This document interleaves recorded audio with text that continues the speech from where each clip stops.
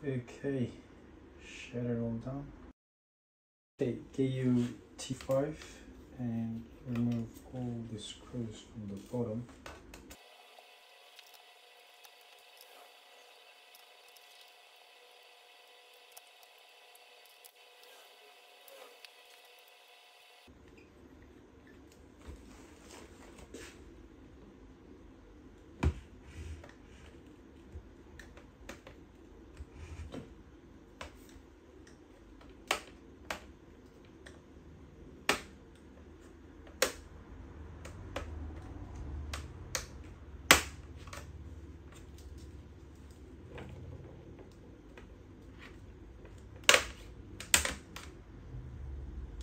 Plastic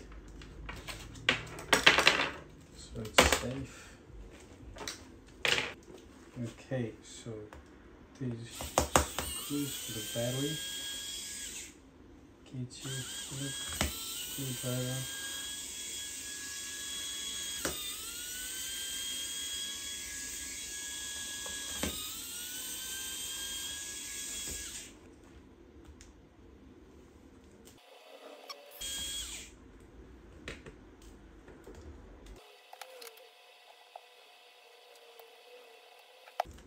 Now, gently pull it back.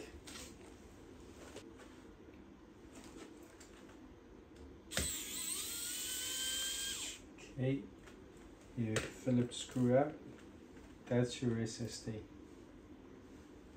Gently pull it up like that.